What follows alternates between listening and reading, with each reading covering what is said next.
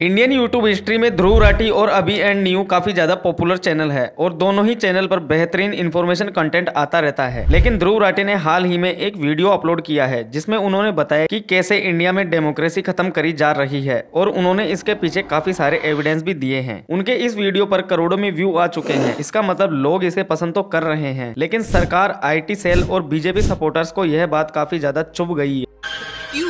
क्या हुई? BJP supporters द्वारा ध्रुव राठी को टारगेट किया जा रहा है। हालाँकि ध्रुव राठी ने पहले भी इस तरह के वीडियोस बनाए हैं और सरकार से सवाल भी पूछे हैं। लेकिन इस बार जो हमले उन पर हो रहे हैं, शायद उन्होंने इसके बारे में कभी सोचा भी नहीं होगा। ध्रुव राठी के अपोजिशन में अभी एंड न्यू ने एक ट्वीट में लिखा है की ध्रुव राठी विदेश में रहते हैं वही ट्रेवल करते और विदेशों में ही टैक्स पे करते हैं। तो उन्हें इसका कोई हक नहीं है कि भारत के बारे में वीडियो बनाए, कि किसे वोट देना चाहिए और किसे नहीं। अब यहाँ इनकी दोगली पंथी देखिए, इसी बंदे ने तीन महीने पहले एक वीडियो बनाया था कि चाइना में किस तरह डेमोक्रेसी खत्म करी जा रही है गद्दारी कर गद्दारी कर अगर ये बंदा चाइना की डेमोक्रेसी पर वीडियो बनाए भारत में रहकर तो यह देशभक्त है। और वहीं एक भारतीय जो जर्मनी में रहकर भारत की डेमोक्रेसी पर वीडियो बनाए तो वह देशद्रोही हो जाता है। बल्कि ध्रुव राठी के माता पिता रिश्तेदार आज भी भारत में हरियाणा में ही रहते हैं। वहीं दूसरी ओर ऋषि सुनक कई पुस्तों से ब्रिटेन में रह रहे हैं। वहाँ के प्रधानमंत्री भी है। वो हिंदुस्तानी है, क्योंकि वो नरेंद्र मोदी के खास दोस्त है। हालाँकि लोगों ने यह सवाल उठाया है की गोदी मीडिया ने ही अगर यह काम किया होता तो ध्रुव राठी जैसे यूट्यूबर को यह काम नहीं करना पड़ता। और वो इतनी बड़ी हस्ती नहीं जाता जो मोदी और सरकार को हिलाकर रख दे। यहाँ आईटी सेल के एक भाई साहब का कहना है कि जानकारी मिली है कि सनातन विरोधी एजेंडा चलाने वाले ध्रुव राठी का असली नाम बदरू राशिद, पूरा नाम बदरुद्दीन राशिद लाहौरी है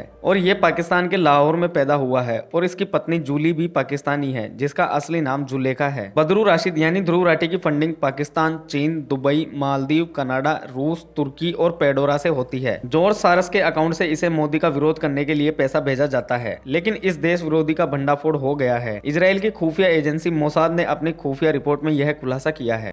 भाई कुछ ज़्यादा नहीं हो गया मतलब कुछ भी। लेकिन मोदी सरकार अब कुछ ऐसा करने जा रही है जिससे कोई भी पत्रकार यूट्यूबर या कोई भी सोशल मीडिया इन्फ्लुएंसर सरकार से सवाल नहीं पूछ पाएगा या सरकार के खिलाफ खड़ा नहीं हो सकेगा। यह है ब्रॉडकास्टिंग सर्विसेज़ बिल 2023